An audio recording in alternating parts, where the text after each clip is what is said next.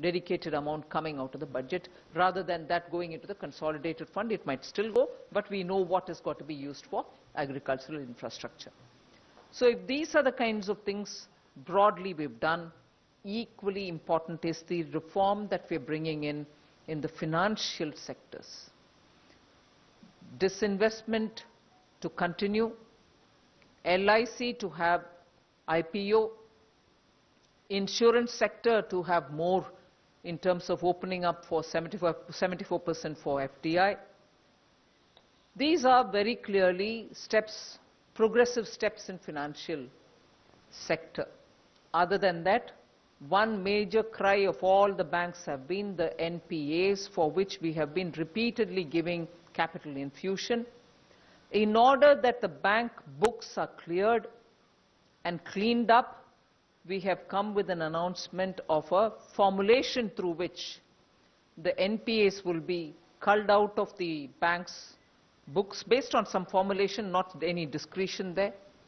It goes to a holding company like structure, which after doing the necessary, you know, sprucing up and also cleaning up and weeding out problems of that uh, particular asset, will be through an open process attract asset reconstruction companies which can come and bid for those assets. Even at that stage, after some haircut obviously, banks will get some money back to those NPAs for which they only kept provisioning for the NPA but didn't have the wherewithal to dispose them off legitimately.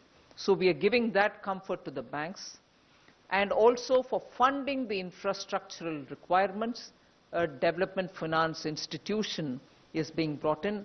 All lessons learned from the IDBI, which started as a DFI but later went on to become a scheduled commercial bank like functioning and couldn't succeed at that, are taken on board.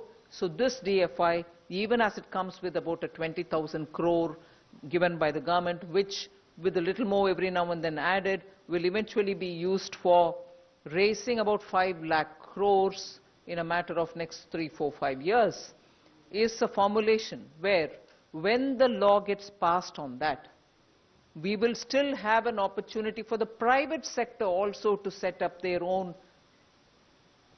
development finance institution. So this country is not going to be, the needs of this country are such that just one development financial institution which is set up by the government will be adequately meeting up with the requ- uh, demand requirements? No, and therefore we see a future for a DFI which is partly funded by the government and raises capital from the market is also competing with private sector DFIs. Uh, largely this much, but very quickly I'll move over to talking about how we have not, the, uh, we have not lost the opportunity to clean up government's own books.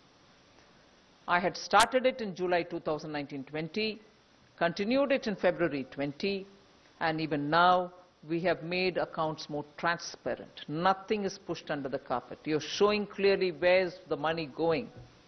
Money given to FCI is also brought on board.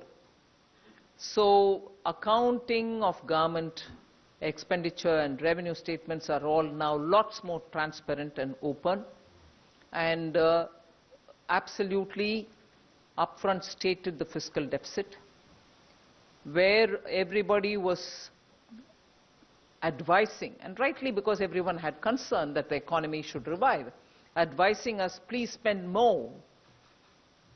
We not only ensured that the capital expenditure of the government was repeatedly reviewed and spending was encouraged and pushed, we ensured that the spending will not get delayed, and that is why, even though we announced one capital expenditure amount during the BE, even that has gone up, that in the RE I had to make additional provisions for it. With that in mind, we have also increased the spending in the forthcoming year. As a result, borrowing increased. Our fiscal deficit, which started at 3.5 during February 2020, has gone to 9.5% of the GDP. So we have spent, we have spent, and we have spent. Otherwise, your fiscal deficit wouldn't have reached this money, this uh, number. But th- does that mean that we are going to show it and forget